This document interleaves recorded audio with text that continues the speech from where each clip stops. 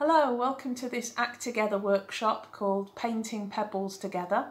My name is Gemma, I'm on the Act Together team and I really wanted to share this with you because I love doing arts and crafts in my spare time. My background is in teaching and I think that it's a really nice way for adults and children to spend time together. Whether that's that they're working on the same piece of art or it might just be that they're doing separate pieces but enjoying the shared experience of being around each other. So what we're going to do is have a go at painting pebbles and I'm going to talk you through the different steps. Feel free to pause this video at any point so that you can do those steps in order. So the first thing really is to collect some pebbles that you're going to paint. And this is a really nice opportunity for you to go out as a family, as an intergenerational group, and have a walk and just enjoy noticing the things around you. When you're looking for pebbles, you can make a little bit of an adventure out of it, asking the people in your group, you know, who can find the biggest or can anyone find a flat one. Have some really interesting discussions about what pebbles you might try and look out for, what which ones you enjoy the shape of, or you might even notice certain pebbles have a shape that would be really good for a particular type of painting. So maybe one that's got a crack in it that you think, wow, I can turn that into a shark mouth. Or a really nice flat one that will let you put a picture on it. So enjoy going out together and having these discussions and just see if it makes your walk feel any different when you're going out together. Good places to look um, can be an area of discussion as well. So maybe as a group, where shall we go? Do we think we'll find pebbles at the park? Along the side of, a footpath. So plan where you're going to go together and just enjoy having those conversations. When you've brought back your pebbles, the next thing to do is to wash them. So obviously they've been on the ground, we want to make sure that we're clean and safe. So again, you can do this separately or perhaps an adult will want to do this job. Put your pebbles in the sink and put some water in the bottom so that you've got something to scrub them with. You'll need a brush with bristles like this one to help lift all the dirt off and I would put a little bit of washing up liquid on the brush to scrub them with. Pick up each pebble or rock in turn and just see if you can scrub the dirt off. Make sure to do both sides and then your paint will stick even better. When you've scrubbed them all, take the water out. Oops, try not to lose any down the plug hole. And give them all a little rinse to get the bubbles off and leave them to dry out fully before you do any painting. Try leaving them in a sunny area to dry out or if you've got some kitchen roll or an old towel you might want to pat them dry so that you can use them a bit quicker. While your pebbles are drying you could use the time to do some planning, maybe sketch out some pictures of what you're going to put on the pebbles. And as I said before you might want to even look at what shape they are because the shape might help you come up with some ideas. Things you could think about are putting writing on them, painting a picture, maybe even a symbol or some sort of emoji smiley face. You might just want to have coloured pebbles with no picture on them but just make them bright so that when you put them back out into nature they really stand out. Talk together as a group and notice are there any differences in ideas between the adults and children in the group? And how can you work together? So it might be that somebody's really good at painting a particular shape or image and so you can help each other with your designs. So I've got lots of these little round pebbles here and I was actually thinking rather than painting any patterns on them that what I'll do is I'll paint them all different colours and when I put them out in the environment I'll arrange them into a rainbow shape. So I'll kind of have them like that and make a rainbow caterpillar kind of thing.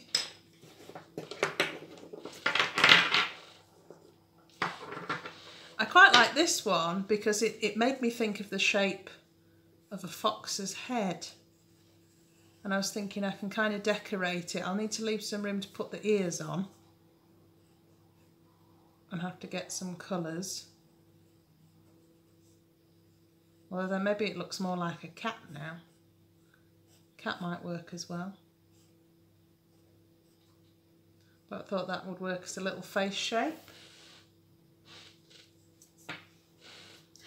This one here is really flat, so I could do some sort of landscape on it. I'd have room to kind of paint the background.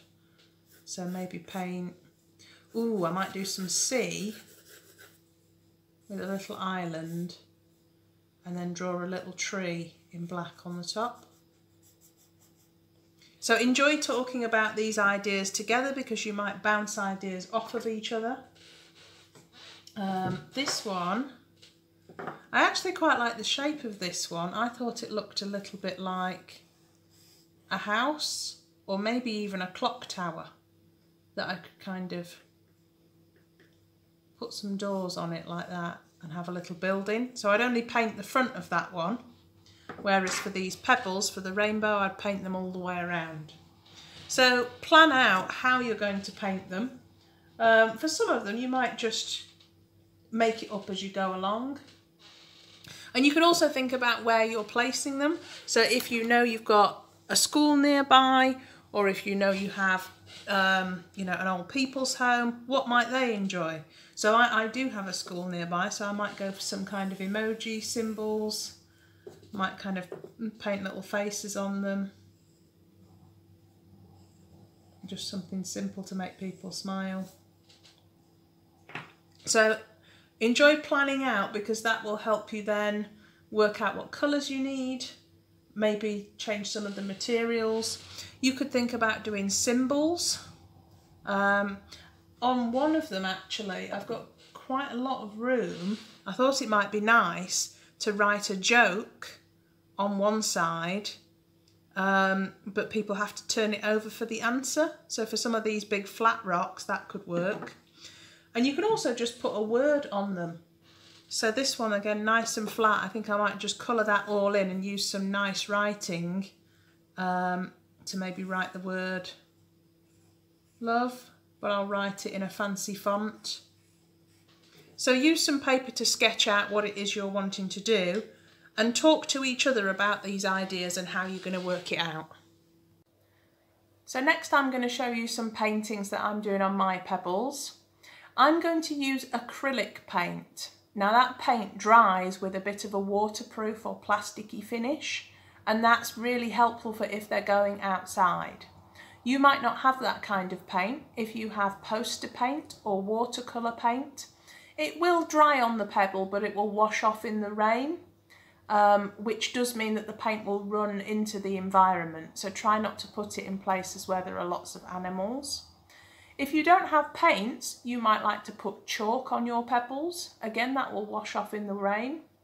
You could even try wrapping tinfoil around them or tying ribbons around them instead of painting patterns, just to make them stand out and just to make them interesting when you put them outside later.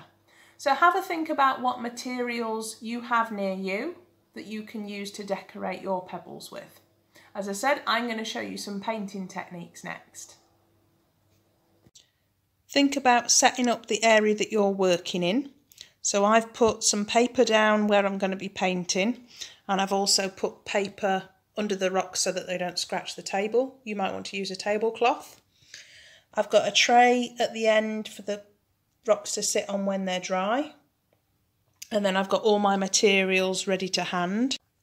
You'll need some paintbrushes. I've got a couple of different types here. So think about how many people are painting because you'll want brushes to use each. These ones are slightly thicker, so that's good for doing backgrounds whereas these ones have thin bristles at the top and that's good for doing any details on the surface. I've got some water to clean my brush, a palette to put my paint in. If you don't have a palette, you can just use a dish. This kind of paint isn't too runny, so it will sit in splodges on there quite nicely. Little bit of kitchen roll or to wash um, when you've washed your brush just to dry it so you don't make the paint too runny. and then whatever colours you're wanting to use. So I've grabbed all the rainbow colours because they're probably the most useful and black and white as well to go with it. It sometimes comes in these plastic tubes, but you can also get it, acrylic paint in these metal tubes as well. So grab all your things together, but then I'm going to clear them out of the way so I've got room to paint. Before you start putting your paint out, you might also want to make sure you've got some sort of apron because sometimes it can spray on the way out. Just to show you that the paint comes out quite thick. And you don't need a lot of it usually. Remember, you can always put more in if you need it, but it's hard to get it back in the tube once you've squirted it out. It's best to start with any plain backgrounds and that way you give them plenty of time to dry. So this is quite an easy thing for the youngsters to do is to just pick the block colour and you'll want to make sure to brush it into the gaps, especially where you've got pebbles that are different textures.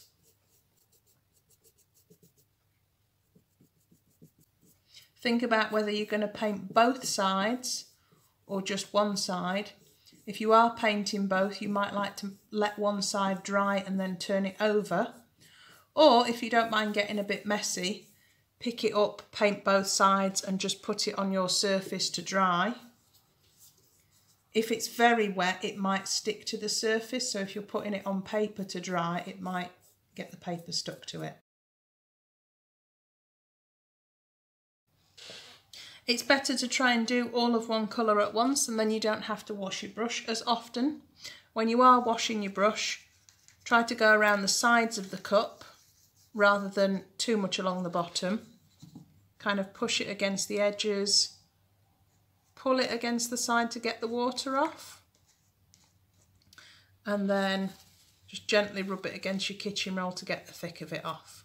Doesn't matter if there's a little bit left, because these are thick colours, when you pick up the new colour it won't make much difference.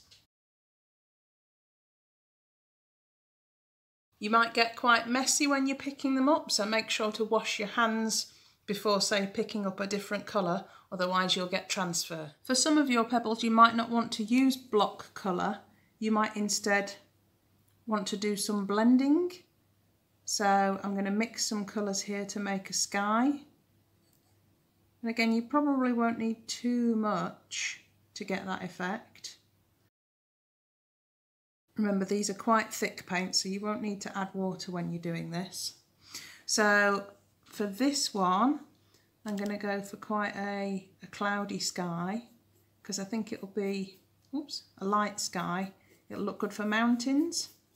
And you can see where I've not fully mixed the colours, I'm getting some some texture in. I don't need to go all the way down to the bottom because the bottom's where my forest will be. And think about whether you want to paint around the sides as well so that it's painted from different angles. I'm not going to do the back of this one though. But I'm actually going to go for a bit of a, a sunset and so what I'm going to do sunset in the water so is I'm going to take my yellow and just brush it up quite a bit of the way. I'm leaving a gap at the bottom for the water. And then I don't need to wash my brush for this one. I'm going to grab a little bit of orange and I'm going to start at the top with the orange and just slowly bring it down. And as you bring it down, it will mix with the yellow to get that gradient. So it changes from one to the other. And adults and children can both try this one because it's just slow. You can do it slowly or quickly, you can, but it's just brushing lines together to get that blend and it looks really effective. So enjoy playing around with that. I'm going to do another blended background on this one where I've got some pink paint on my brush to start with. And then later on I'm going to put some red at the top. So you can kind of start with your light colour, take it up most of the way, blending's quite hard to do going around the side of the pebble. So this is good for ones where you're just doing the top surface. Okay, and then I'm going to grab a little bit of my red. You don't need very much for the dark colours. Start on the top, and I've still got the pink on the brush, and I'm just going to drag it downwards and let it blend in. Oh, actually, I'm going to go at the bottom as well. I'm going to do it both sides so that it gets light in the middle. And I think I'm going to put a word on this one. So I want the middle to be nice and light so that you can see the word clearly. Again, this is really, really easy technique. As long as you keep going in straight lines, the paint does most of the work for you. And it's up to you, you can add a little bit more if you want it even darker. But if you are going to add more, always start at the very edge and then just slowly work your way in. So once you have all your backgrounds on, give it all plenty of time to dry before you do the foreground. Once it's all dry, the next job is to look for anything that still needs more background on it. So for example, these ones are still missing the landscape at the bottom, so they're the next ones that we need to paint to give them plenty of time to dry. So I'm going to use green for this one, give myself a kind of forest floor. So these foregrounds should still be really easy for adults or children to do because you're just putting block colours on. And it might be that you save the details for somebody with a bit more of a steady hand. For this one, I'm going for a, a, a desert island at sunset. So I'm going to do it as a silhouette and have black. Actually, I might make it curvy so it looks like part of the island. And actually what I'm going to do now is swap for a thinner brush to put on the palm tree.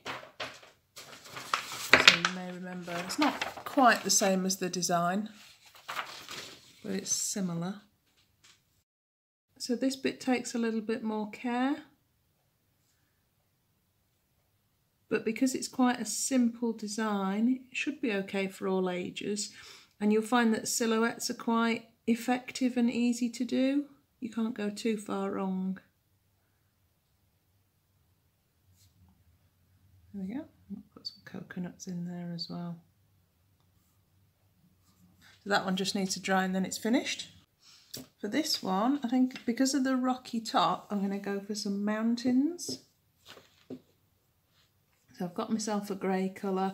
I've not mixed the paint that well and that means that the paint will kind of have different textures as I go. You can see it's a bit lighter there.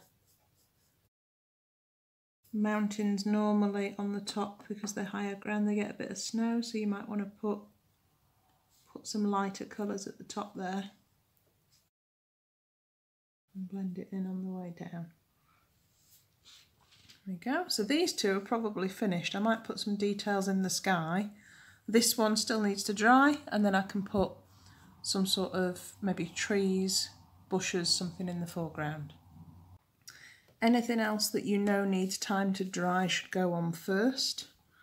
So for instance here I'm going to need to put the white of my clock face and make sure that dries before I put the numbers on the clock. So I'm using a thin brush there. I've just painted straight on it, but you might want to have somebody sketch out with a pencil what it is you're going to paint to help get it more accurate. This one I'm going to try and go for an emoji face. So I'm going to put the yellow on top and that'll need time to dry before we put the face on. Ooh, now this paint is a little bit see-through so I might need to come back and put another layer on it later actually. Oops, wobbled there. If you do find that it goes wonky because of the shape of the pebble, you might want to just try and even out the other side to line it up. Remember to come back to the sketches that you did earlier to help you.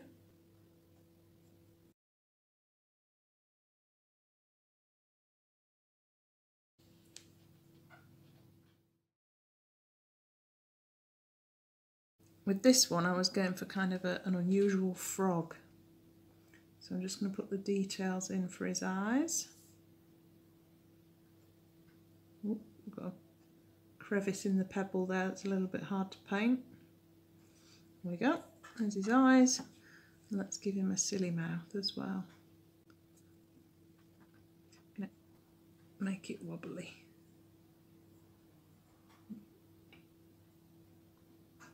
So this one, because it's nice and playful, I think I'll put down by the school. There we go. So I used the computer to find a slightly better sketch of a fox because I knew that mine looked a bit more like a weird cat. It's usually best to start with the light colours first and you put the darker ones over the top.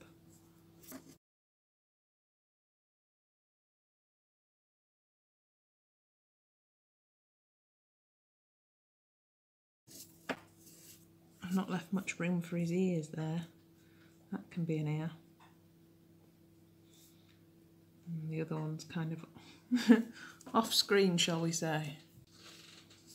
I'm going to put the doors on my church.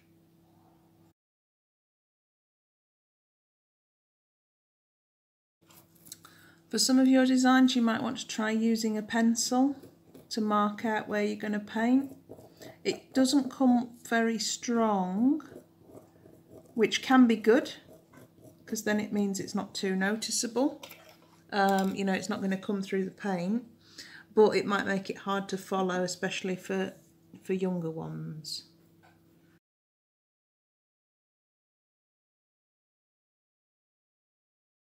There we go, your designs don't have to be complicated to be effective and eye-catching. I'm going to add some details to these ones now. So for this one, I'm just going to put the sticks, sorry, the uh, trunks of some trees in and then I'll add the leaves later when they're dry. So again this one's nice and straightforward. Should be quite easy for, for the younger ones to do.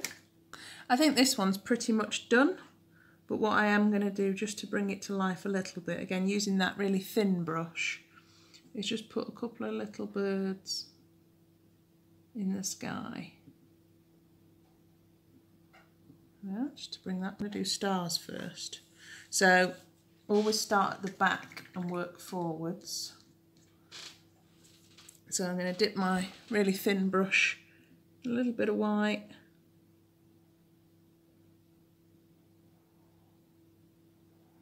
And so this is almost like a little fantasy at night time. Might put a little moon in there as well actually. And then a little bit like this one, I'm going to go for some trees in the foreground. So this can be a little bit like a forest. And because I'm doing, I'm going to do this one all in black. So I'm going to put the branches on first and then just pull the brush side to side, almost like a triangle shape to make those trees. And just do it really roughly and that way you get some gaps where the light's still coming through. And do another one here at the side. And actually I'm just going to put a bit of black at the bottom and paint the paint the ground on.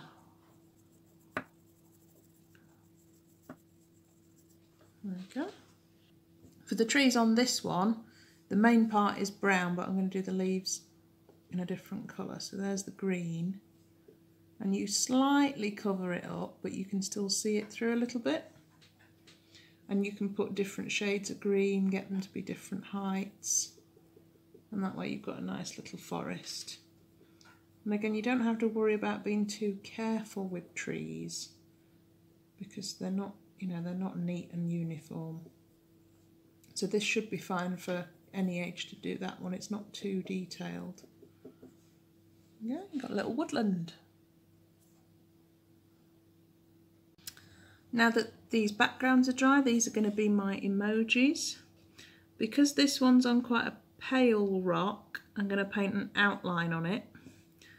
But for the others, I think I'll just leave it because sometimes painting the outlines are a little bit fiddly, so it can be easier not to bother.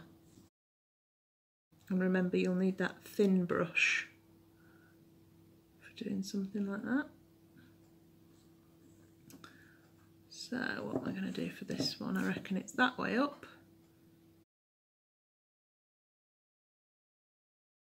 Close enough. A little bit wobbly, but it's fine. Decide if you want to paint any, you know, like eyes on them that'll be white, because if so, you'll need to leave that time to dry before you put the black on afterwards. Gone for a little surprised face there. Hopefully that'll make somebody smile.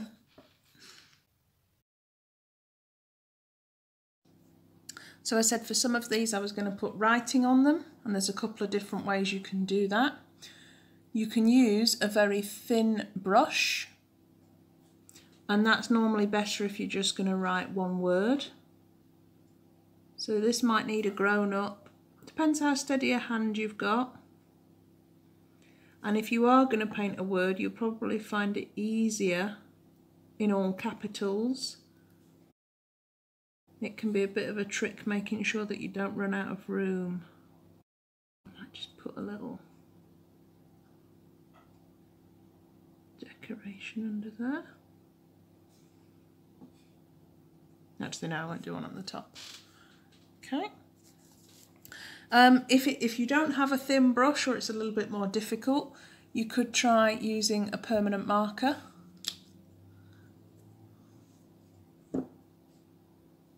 This might be easier for the younger ones in your group. So you can write messages on the pebbles. The other thing you could play around with if you have access to them is paint pens. Now, there's a couple of different types. So even though these are the same brand, the thinner one has a plastic nib, which is going to be really difficult to use on the pebbles, whereas this one has a fabric nib, so it's going to be easier. And I'm going to use that on here because this is going to be a longer one. I thought it would be really nice because I've painted both sides. I'm going to paint a joke on one side and the answer on the other.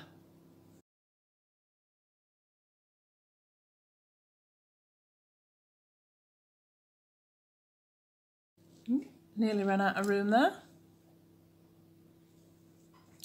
So have a think if you are going to do anything two-sided, because then people can interact with that pebble when they come across it. I'm going to leave this stood up like that to dry. So give everything plenty of time to dry and then you'll be able to go out for the walk together to put them outside. Just a little note on cleaning your equipment when you're working with acrylic. So the paints that are still very fresh, like this one, will wash off with water no problem. But here, this was actually left over from yesterday and it's dried completely solid. And so you might find it easier to peel that away. If you just run it under the tap, it'll stay still and you might panic that it'll not come off. If you scrub it or scratch it off, it'll be fine. So once the pebbles are dry, you can go out on a walk together and decide where to put them. And things you might like to think about are where will they stand out? Where are lots of people going to be to have the chance to see them? Do you want them to be hidden or obvious? Do you want them in places where people just look at them or maybe where they'll take them and interact with them? So I'm going on a walk in my local area. I've got a big park near me and there's a, a primary school. So I'm going to place a lot of the pebbles near there so that there's a good chance that people will see them as they're going to school and visiting the park. Enjoy discussing together where good places might be and you know putting the pebbles where you like.